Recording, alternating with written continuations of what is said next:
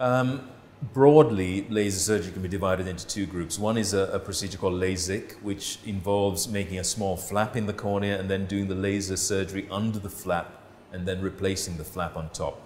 The advantage of that technique is that the visual recovery is incredibly rapid, there's very little discomfort afterwards, uh, and the results are excellent.